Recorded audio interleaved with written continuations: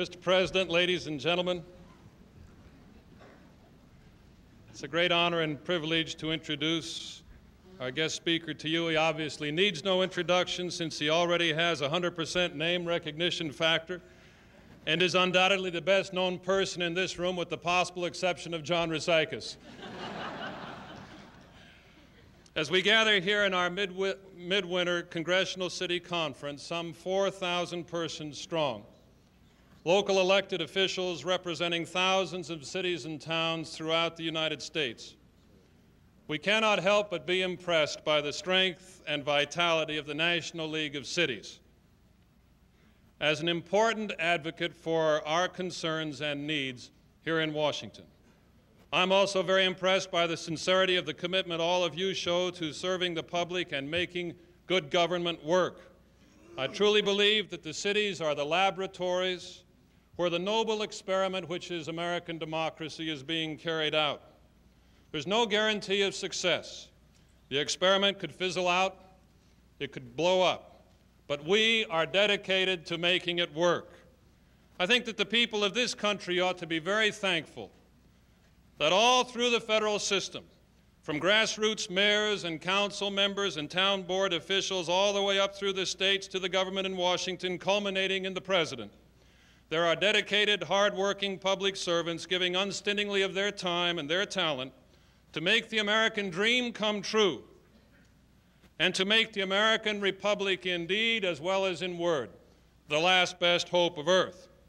Mr. President, we local officials enjoy a story, possibly apocryphal, about one of your predecessors, whose initials were LBJ.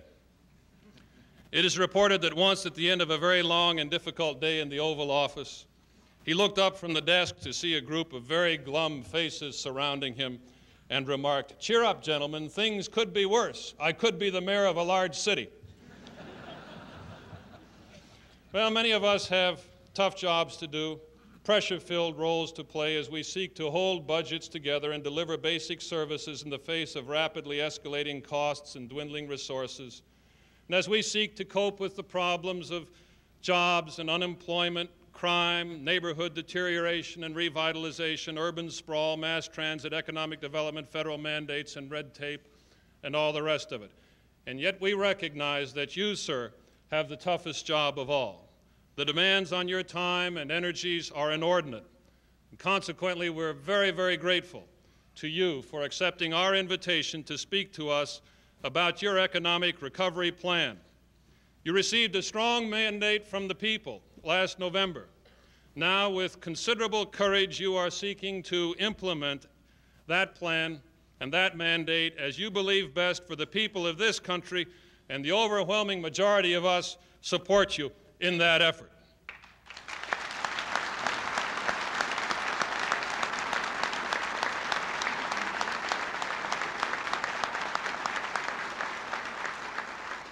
We are pleased and honored to have you with us today and extend to you a very sincere and warm welcome. Ladies and gentlemen, the President of the United States.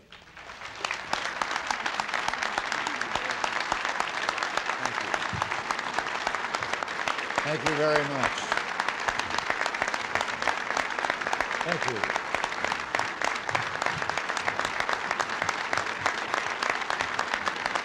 Thank you.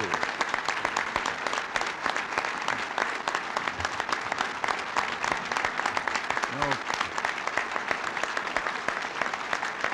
Thank you very much. Thank you very much. It's a pleasure to be with you today for your annual Congressional City Conference. The last time I was in this room, not too many weeks ago, was for the National Prayer Breakfast. And I hope that what was said then and what I did then has had some lasting effect. I'm especially pleased to have been introduced by my longtime personal friend, Mayor Bill Hudnut. I understand and appreciate the part your organization has played in the Pennsylvania Avenue Development Plan here in Washington, the new 12 story building you've constructed overlooking Western Plaza is a fine example of what can be done to revitalize the inner city. It should serve to stimulate others to invest in such worthwhile efforts. As you're well aware, rejuvenation of the American economy is the number one priority of my administration. This, I believe, was the mandate of the voters last November. It was a mandate that I sought, yet something all elected officials should understand because it's a mandate for all of us. The election did not commission me to attempt electoral or economic reform alone, but to work with elected officials, federal, state, and local, to put America's economic house in order. And that's why I'm here. We've got a job to do together, and I believe we should open a clean, clear line of communication now. Our job, of course, is to get the economy of the United States moving again. It's essential for you as representatives of the cities. It's essential for all of us as Americans. One thing is certain the time for business as usual has passed. In the last two decades, Americans have suffered oppressively increased taxation, inflation, unemployment, and interest rates. The middle class, the lifeblood of democracy and the American way of life, cannot withstand these pressures indefinitely. And the economic tremors rippling through our economy suggest that these people are near the breaking point. I don't know how many of you earlier this morning might have had an opportunity to watch on television as some citizens were being interviewed who publicly have stated they are simply going to rebel at paying their income tax and they're going to appeal to others to do the same. We're suffering the worst inflation in 60 years. Almost 8, billion, uh, 8 million Americans are continuing to be out of work. I've been here only a month and I'm beginning to talk in billions when I mean millions. Uh,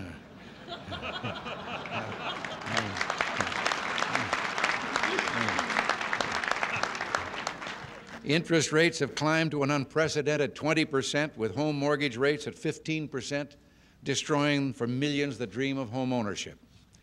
Investment in industry is lagging behind our major competitors, with too much of the personal savings of our people flowing into non productive inflation hedges instead of job creating long term investment or savings. Millions of Americans feel that for them the standard of living is actually going down, and it is. It's shocking and a depressing fact that after being adjusted for the continued cheapening of the dollar by inflation, the hourly earnings of American workers have dropped by 5% in the last five years. This is a complete reversal of the American experience and will have profound impact on the spirit of our people if something isn't done and done quickly. And while our workers have been experiencing a decline in their standard of living, government has continued to spend money like there's no tomorrow. And come to think of it, that could be a self fulfilling prophecy. In those same five years, those workers' taxes went up by 67%. Federal spending grew to 23% of the nation's gross national product, the highest peacetime share in our history and the federal government has shown a deficit every year after 1969. In fiscal year 1980, that deficit was $59.6 billion, the second largest in history. And we face another deficit of similar magnitude in this year of fiscal 1981. Now, this kind of irresponsibility can't go on. What most federal officials have been afraid to admit is that federal spending has been for some time increasingly out of control. If left unchecked, the current situation would lead to a redoubling of the federal budget within five years. For a time, it's appeared that Congress had more solutions than the country had problems. Or put another way, I've said before that cures were developed for which there were no known diseases. Just conceiving of a program that might help someone somewhere was itself reason enough to pass a law and appropriate money. Eventually, with so many programs, safeguarding public funds became an impossible task. One government estimate suggested that between 1 and 10 percent of all spending on social programs was, and probably still is, being lost to fraud alone at a cost of up to $25 billion. When that cost or the cost of waste is added to that sum for fraud, the figures are even more appalling. Of course, spending isn't the only aspect of government that seems out of control. In the last decade, American business, and yes, local government, has had to deal with an avalanche of federal regulation.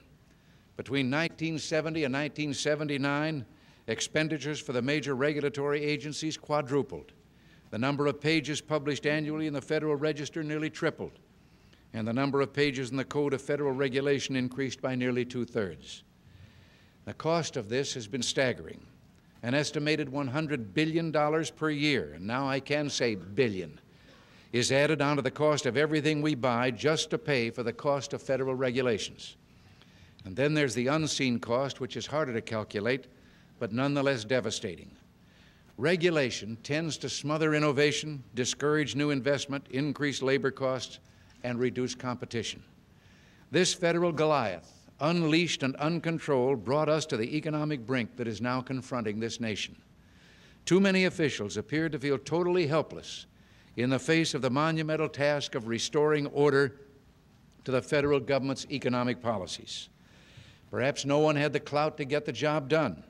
Whatever the reason, we now have much work to do. Together, we can put our economic house in order again and regain control of this situation.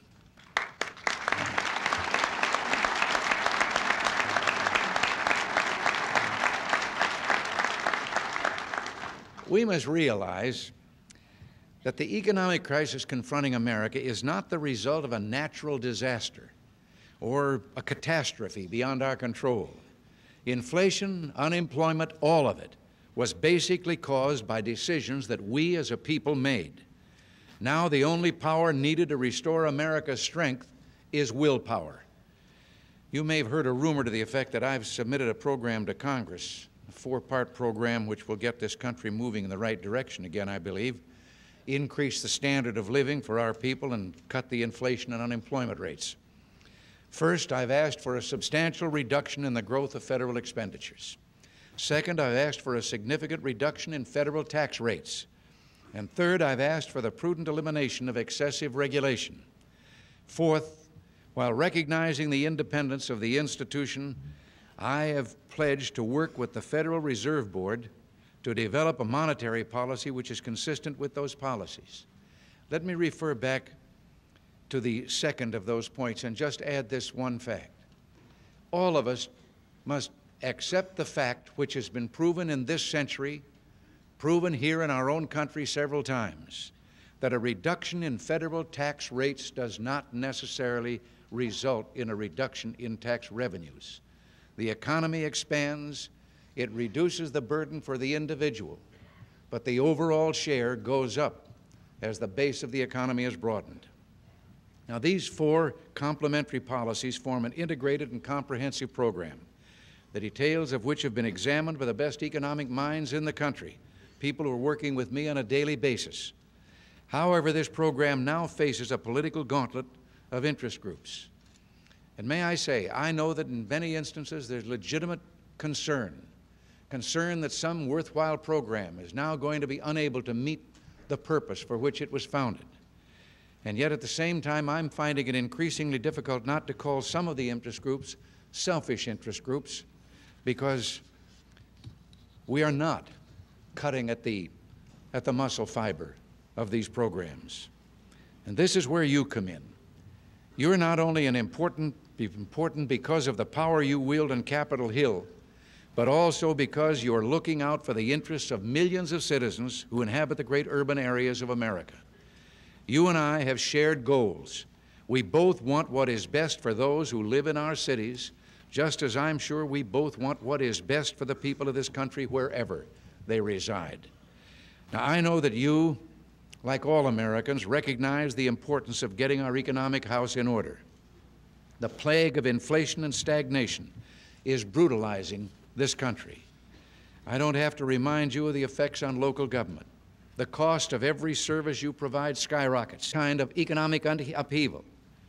Unless something is done to turn the economy around, local governments will suffer right along with many other respected American institutions. On principle, we should never forget this. There is no better federal program than an expanding American economy. Even as our program for economic recovery awaits action by the Congress, we've already started to do what we can within the executive branch to cut back spending and regulation. The Office of Management and Budget is now putting together an interagency task force to vigorously attack waste and fraud. Highly motivated and expertly trained professionals will be appointed as inspectors general of the cabinet departments. We've suspended for two months the flood of last minute rulemaking done by the previous administration so that we can look closely at it. We've eliminated the ineffective and counterproductive wage and price standards of the Council of Wage and Price Stability. We accelerated the decontrol of domestic oil. We have concentrated our efforts to enhance effectiveness of Paperwork Reduction Act of 1980. We placed a freeze on federal hiring. We've also begun taking action on particularly controversial rules. For example, rules mandating extensive bilingual education programs, passive restraints in large cars, the unnecessary labeling of chemicals in the workplace, controls on garbage truck noise, and increased overtime payments for executives have been withdrawn or postponed. These actions alone are expected to save the American public and industry almost $1 billion annually. The administration will be reviewing a host of other regulations in the near future. Vice President Bush, who will be meeting with your executive committee this afternoon, is heading a special presidential task force to clear away many regulatory roadblocks, as many as possible. His role in our regulatory reform efforts should suggest the importance that we place on this issue. I'm aware that Bill Hudnut is circulating a questionnaire regarding regulatory relief, which will be presented to the Vice President and the Task Force on Regulatory Relief this afternoon. Now, all of this is being done to start us on the road toward recovery. What is important is that we begin. I'm sure we'll get there if we work together. Now, there are those who oppose almost everything in the economic program. They oppose the program, but for the most part, they offer no alternative. Well, hoping things will get better won't make it so. I've been told that some members of Congress disagree with my tax cut proposal. You know, it's been said that taxation is the art of plucking the feathers without killing the bird. it's time they realized the bird just doesn't have any feathers left. Know,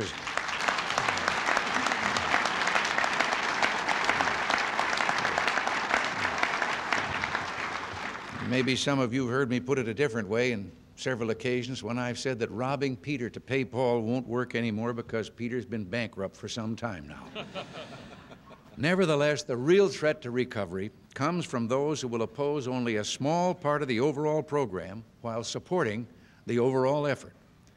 Needless to say, the small portion these parochial groups oppose always deals with the cuts that affect them directly. Those cuts they oppose. They favor cutting everybody else's subsidy as an important step in ending inflation and getting the country moving again. The accumulative effect of this short sightedness can be damaging. We're all in the same boat, and we have to get the engine started before the boat goes over the falls.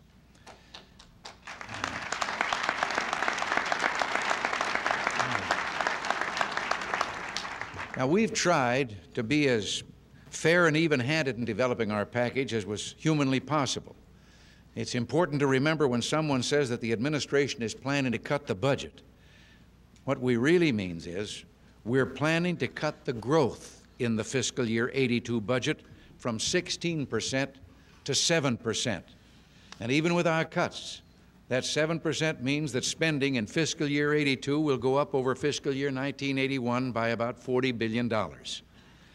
Within this restructuring that we've proposed, some programs are eliminated, but others are strengthened. And we did nothing to weaken the social safety net which protects the truly needy in this society. As a matter of fact, when we reformed welfare in California, we discovered that the really, truly deserving people that we were trying to help weren't helped as much as they should be helped simply because of excesses administratively duplication, and people who were not truly needy, we had spread ourselves so thin that we didn't have the resources available to really take care of those with great need. Full retirement benefits for more than 31 million Social Security recipients will be continued along with an annual cost of living increase. The Medicare program will not be cut, nor will veterans' pensions nor supplemental income for the blind, aged, and disabled. The school lunch and breakfast programs will continue for the children of low income families, as will nutrition and other special services for the aging.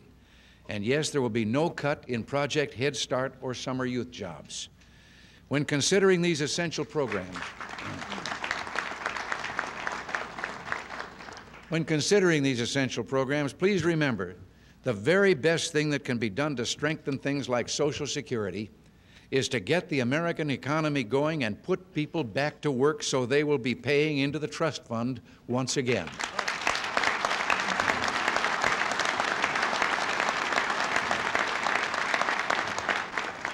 Now, I know there will be those who will charge that we're requiring sacrifices from the rest of the government, but not from the Defense Department. They'll suggest this proves we're not even handed as we promised. Well, I would remind those of you who wish to get beyond the slogans to examine my appointment to the job of Secretary of Defense.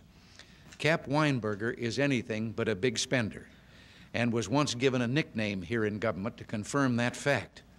So, although the international situation dictates more spending for defense, it does not mean the Defense Department will be free from the cut and trim philosophy of this administration. I can assure you that CAP is going to do a lot of trimming over there in defense to make sure the American taxpayer is getting more bang for every buck that is spent.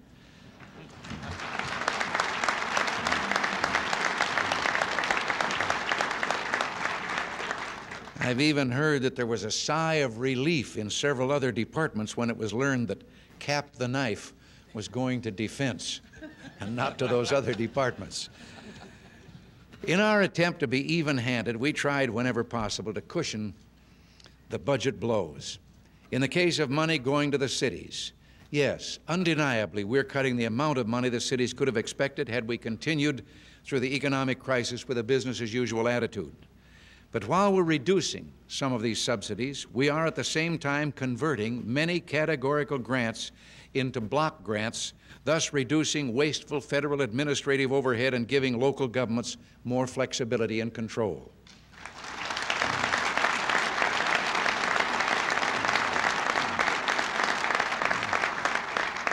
Now, corresponding to that, we're working to end duplication of federal programs and reforming those that are not cost effective.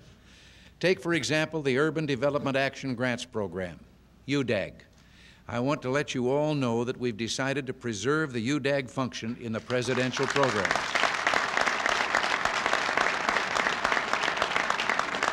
But here's what we are doing. The UDAG function and the Community Development Grant Program will be combined into a Community Development Support Program, and we will be sending legislation up to the Hill in the near future to enable the UDAG function to continue.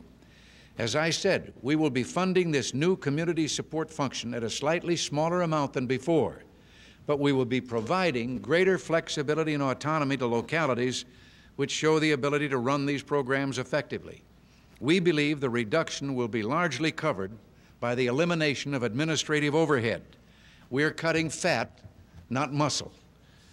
We're giving local government the power to decide what will be done with the money. Handled efficiently, the level of benefits may not suffer as might be suggested at first glance. However, there could well be something in local government that can and should be cut back during these times of economic hardship. If so, you will set your own priorities. You, not some Washington bureaucrat, will decide where the cuts will be made if cuts are necessary.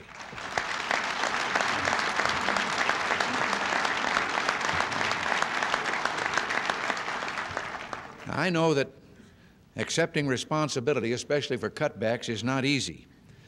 But this package should be looked at by state and local governments as a great step toward not only getting America moving again, but toward restructuring the power system which led to the economic stagnation and urban deterioration. But for many of this country's major cities, economic stagnation is not a recent phenomenon. Interestingly, while power centralized in Washington, D.C., many great urban areas declined. I've always thought that Washington didn't have the same problems other cities did to a certain extent because they grabbed hold of the fastest growing industry in America.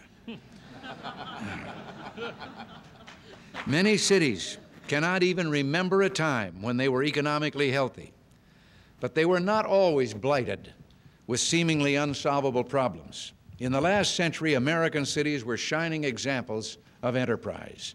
They were places of optimism, where free men and women working together didn't know the meaning of the word impossible. Alexis de Tocqueville noted the vitality of American cities when touring this country in the 1830s.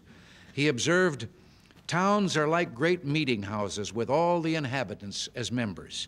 In them, the people wield immense influence over their magistrates and often carry their desires into execution without intermediaries.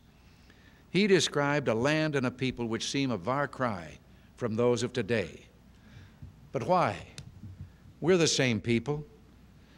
If we're not, what is different? Well, the answer to that is the increased intervention by federal authority. Only 50 years ago, Americans still felt they could accomplish anything, and they did. Today, the descendants of these pathfinders peer through a maze of government regulations and often give up even before they've tried. Local officials who once saw the local voters as boss now look to Washington, D.C. before considering a move. And what once was a federal helping hand is quickly turning into a mailed fist. Instead of assistance, the federal government is giving orders. They call them mandates. More often than not, the command comes from Washington, but few funds to implement the order can be found in the envelope. Mayor Koch of New York has detailed the problem of mandates better than anyone. Last year, he said his city was driven by 47 federal and state mandates with a total cost of $711 million in capital expenditures, six and a quarter billion in expense budget dollars, and $1.66 billion in lost revenue. And people wonder why New York sings the blues. Not only are the funds not available to meet all these mandates, often the mandates themselves are impossible to fulfill. In Fairfax County, Virginia, for example, students come from 50 different language backgrounds, 15 of which are spoken by more than 20 students. Were it able to follow the former HHS guidelines, the county would incur the expense of sponsoring bilingual programs in 15 different languages, including Urdu, Hindi, and Laotian. Now, bilingual education, there is a need, but there is also a purpose that has been distorted again at the federal level. Where there are predominantly students speaking a foreign language at home, coming to school and being taught in English, and they fall behind or are unable to keep up in some subjects because of the lack of knowledge of the language, I think it is proper that we have teachers equipped who cannot get at them in their own language and understand why it is they don't get the answer to the problem and help them in that way. But it is absolutely wrong and against American concept to have a bilingual education program that is now openly, admittedly dedicated to preserving their native language and never getting them adequate in English so they can go out into the job market and participate.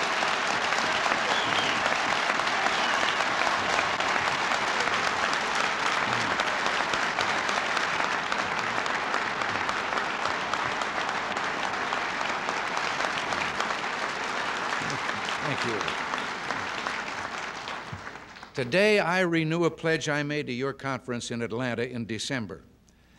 I will examine the mandates issued by the federal government and take action to remove any undue burden placed upon local governments throughout this country.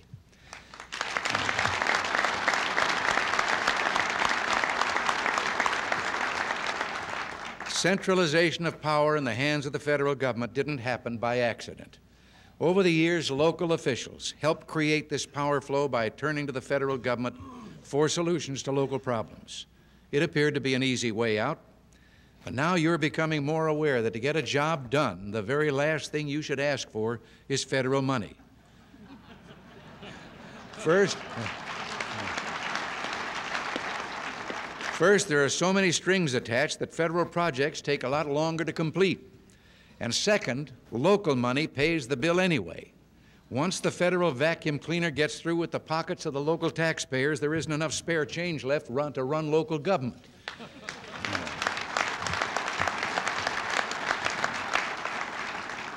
what we must do is strive to recapture the bounty of vigor and optimism de Tocqueville found in American cities. We can start by reestablishing the proper relationship between the federal, state, and local governments. The block grant program in our package is the first step. It cuts considerable red tape and returns power and decisions to the cities for money taken by the federal government. It is something that we in the years ahead can build upon. Shortly, my administration will announce the creation of a federalism task force to find out specifically what can be done to reestablish the balance between the levels of government. Your input and participation will be important in this process. Working together, we can establish a dialogue about the proper functions of the respective levels of government and go about restructuring the federal system to maximize efficiency and freedom.